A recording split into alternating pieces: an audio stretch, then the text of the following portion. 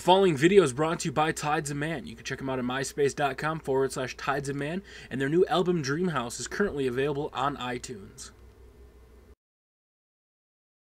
What is going on, Tubby Nation? Now, this is probably one of the main events. Uh, there's been some speculation that this might be the first title match of the night since it really doesn't have an effect on what titles will go on what show, um, as everybody's on the show is in Raw.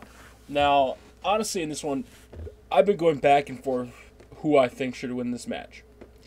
Now, John Cena, you know, I, I like John Cena, but I kind of like him when he's not the champion. I'm not gonna lie. Um, you know, going into this match, it, it kind of sucks. Like I don't understand the whole R-Truth John Morrison thing. I know they did it to set him up as a heel, which is perfectly understandable. Um, but to make him give up his spot, you know, it's just it's a huge letdown. It really is. You know, I, I finally thought, wow, they're actually going to give R-Truth a chance.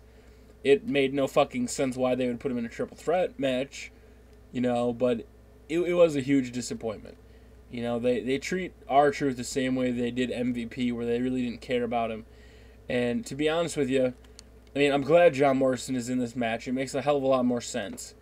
You know, but why tease that fact the whole time? I mean, they could have, you know, did a heel turn some way out, some other way.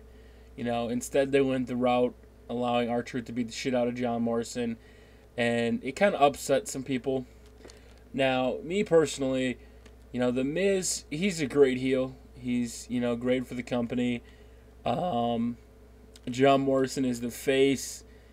He he's he's the one that drives the ticket sales, you know, the merchandise. And then you have John Morrison, who, you know, the master of parkour, the uh, I can't even remember the, the nickname, the shaman of sexy. You know, I, I think they had a really good opportunity with The Miz and John Morrison, and, and I think they kind of blew it. You know, in between Royal Rumble and Elimination Chamber, you know, in between TLC and Royal Rumble, there's a six week gap. It's the longest gap between any pay per view, because I think WrestleMania is only a five week gap. Um, and they basically wasted John Morrison's title opportunity in between. And it was a hell of a good match, don't get me wrong. It was a very good, you know, back and forth, pretty entertaining match, but it just kind of felt like, you know, they they gave John Morrison the shit. Now, honestly, I don't think John Morrison is ready to be WWE champion.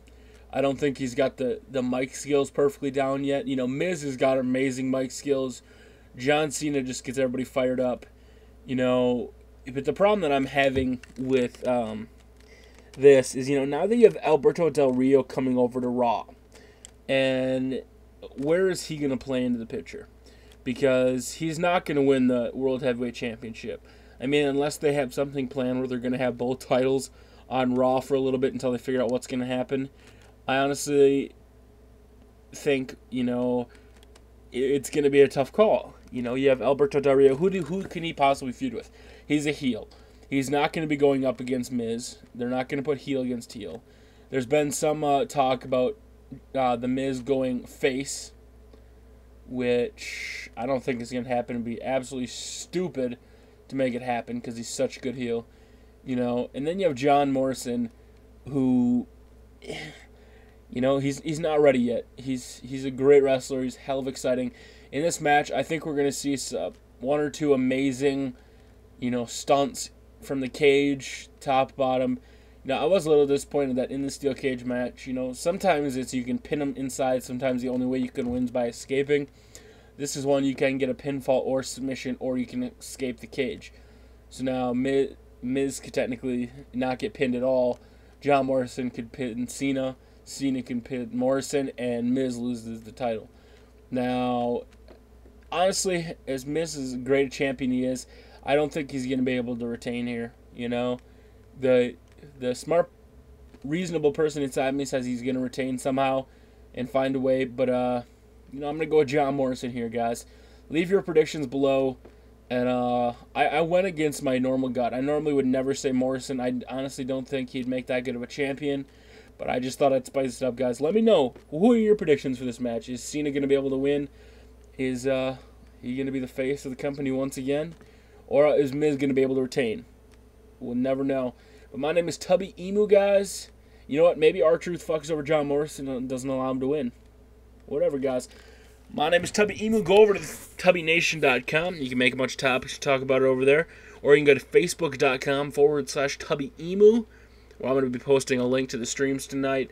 And on my brand new blog, I set up tubbyemu.com. Just going to have a bunch of WWE stuff and other news in a blog format. You guys have a great day. Peace.